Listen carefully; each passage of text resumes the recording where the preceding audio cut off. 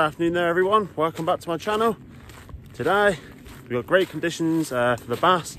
So yeah, what better way than to go and chuck a few lures guys and see if we can nail a few. So we've come down to the north uh, side of Guernsey this afternoon. Light overcast uh, conditions you can see. We've had rain all morning. So uh, yeah, it's finally cleared up now. So yeah, go and chuck a lure for an hour or so and see if we can get a few. So yeah, come to the video guys. If you're new around here, subscribe so you don't miss any videos. There'll be a lot coming up on the channel in the uh, near future. And remember to smash that like button, guys, sign that you like the videos. And uh, yeah, we'll see you down the mark, guys, and I'll show you the kind of area we're going to be fishing. Let's do this.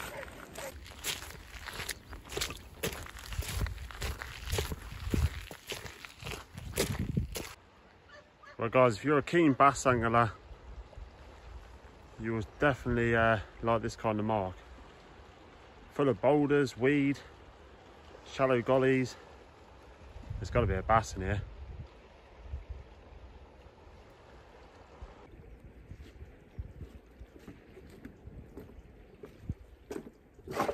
Let's get those shiners. So we've arrived down at the destination now. We're going to start the session, guys. I'm going to quickly run you through what we're going to be using for the bass fishing today. Ever so simple if you want to get into lure fishing all we got, we got a Penn Pursuit uh, 2500 size reel. It's got 20 pound uh, braid in it. Braid's uh, very good for lure fishing you feel every little knock. If you touch a rock, you feel if you get uh, a touch from a fish, you know it as well. So yeah, I'd always go for braid when I'm uh, lure fishing. I'm using my good old uh, Savage Gear SGS2, 7 foot uh, 15 to a 45 gram rod. Nice and um, lightweight for carrying across the rocks. And yeah, cast like a beauty even though it's only 7 foot. So we're going to start off today, guys. It's really shallow ground. We've got an incoming tide this afternoon. Tide's been cut off about an hour and a half. Only uh, nip tides. Uh, it's 7.7 tide, they're gradually getting bigger. So uh, yeah, we're going to start off probably with the uh, Patchinko Frosty. Surface lures is, skips along the surface, throwing plumes of water, and Mr. Basil can't resist. But then as the tide comes up, guys, we probably will change over to the good old uh, Sidewinder Skerries eel. This thing never fails to catch normally. So yeah, let's get over on the rocks, guys, and let's uh, put these lures to the test. Happy days. Right, let's get the session on the road, guys. Let's see if we can nail a basil. I fish this mark quite a lot. Early morning normally. But uh, yeah, like I say, perfect ground, bouldery, weedy, snaggy. The bass love it when it's like that. All we're doing with the surf lure, guys, slowest retrieve, and just getting that lure moving by twitching the end of the rod, guys. You don't want to spin too fast with the surface lure. You want it to look like an injured uh, bait fish. hopefully Mr. Basil comes and nail you. I say good conditions as well, quite overcast. Just gotta hope there's a fish in here. As that tide comes up, uh, I'll get a lot more confidence. Yeah, like I say, that's the lure we're using, guys. Never fails normally. Wow, guys, fish on. That came out of nowhere. Wow. Uh, that was an incredible take. Been down there, guys. That's on the frosty uh, Patchinko. Beautiful. I was daydreaming and boom. Only a tiny little basil, poppy, but we'll take it. There we go, guys. Get some safer ground. We'll get him off the hook and get you a better show. Beautiful. Yeah, what a start that is, guys. Only a poppy little bass. As they nailed that patchinko. Oh, not far for size of the lure, guys. There we are. Frosty patchinko never fails. I was half asleep, he came out now. I see him bolt up behind the uh, the lure and absolutely nail it. Check out the patterns on that bass, guys. Only probably about half a pound, but uh, yeah, what a uh, start. Five minutes into the session, and uh, yeah, a lovely little basil yeah, gonna pop him back guys, hopefully get a bit of underwater footage of going away until we get a bigger one. That's a great start, I'm well happy huh? Check out the gold on the uh, flanks of that fish guys. Absolutely stunning, beautiful. So guys, you know this bass reviving for a couple of seconds. Check out how lovely that basil is there. That is absolutely stunning. So I'm gonna get him revived guys, get the uh, GoPro and try and get him uh, to go underwater. But look at that, that's stunning.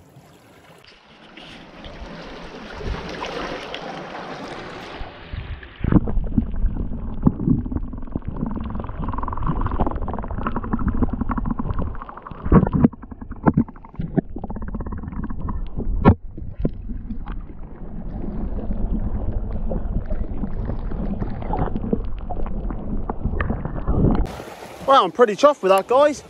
I say five minutes using the Frosty. Blasting out just beyond the heads there. I can see his uh, fin coming out of the water and he absolutely nailed it. There's one bass in here. I'd expect there to be more. This area is really normally good. Say nice slow retrieve guys, even stop the lure sometimes. And the bass will absolutely nail you.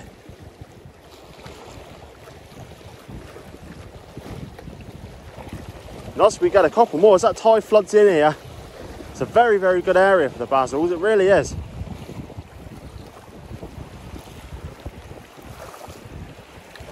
I'll give you a show after guys on the water, uh, what the kind of ground is we're fishing close up. Quite a few garfish on the uh, surface as well jumping now.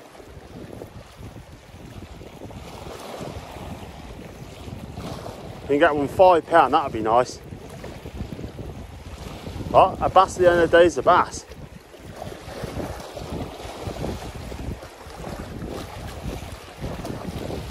So with your retrieves, guys, speed up, slow down. Try and find the rhythm what the fish are uh, at. That's what you're after. I'm chirping.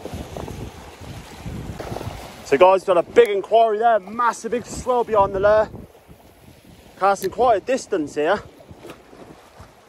He went, he had to go at the lure and dropped her. See if he'll come back. By the size of the swell behind the lure, that was a decent bass. Oh, I got the old heart racing.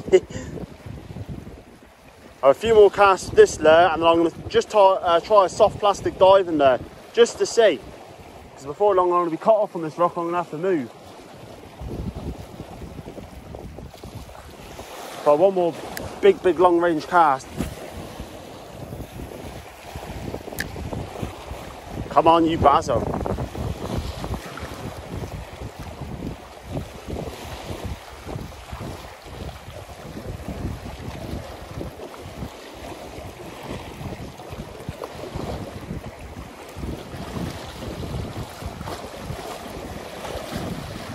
so I was trying to, I was faffing around with the trying to get uh, the camera to turn on. I didn't set the hook properly. My fault.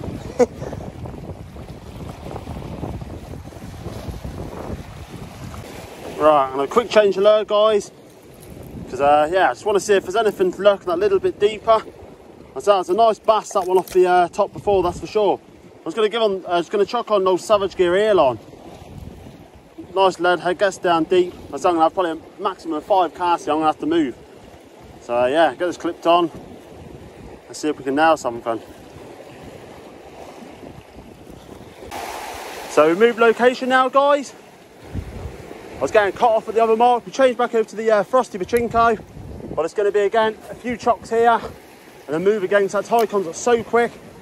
You got to have your wits about you when the tide's come up, especially on the north side of Guernsey. It races up. Got a nice little bit of a chop coming to the water now, which is good.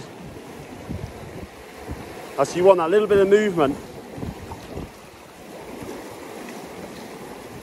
Hopefully Mr. Basil comes and absolutely nails the lure.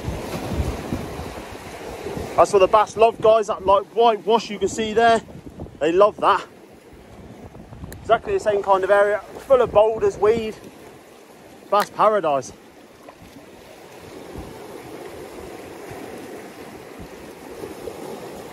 Get one more, that would be nice.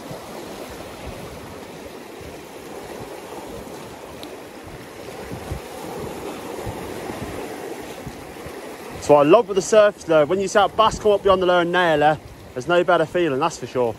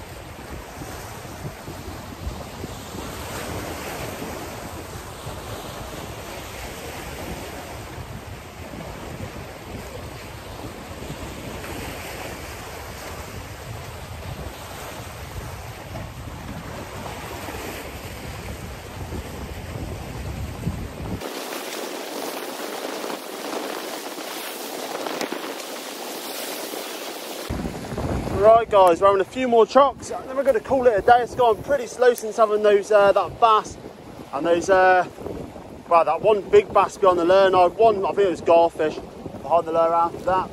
But uh, yeah, since then it's gone pretty slow. Almost wish I'd stayed over the other side, but got a bit of drizzle coming in now and I've got no uh, equipment to keep my camera dry. So yeah, now a couple more casts. If we get anything, I'll let you know. If not, we'll uh, see you in the outro, guys. So guys, that's going to do it for another episode.